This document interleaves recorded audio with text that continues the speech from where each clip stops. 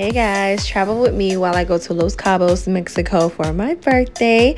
So we stay at the Viceroy Los Cabos Hotel. And guys, when I tell you I was blown away and more, we had a two bedroom suite. And I mean, just just look at this. I mean i can't show you guys a whole tour of this. If you want to see the whole tour of the viceroy hotel as well as this room make sure you head on over to my youtube channel. I have a whole video dedicated to this.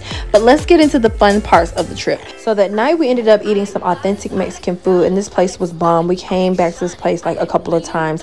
The next morning we headed over to the marina because i did charter us a boat. This was my way of saying thank you to my guests who are my two sisters as well as my cousin for coming to celebrate with me for my birthday. There they are, the lovely ladies.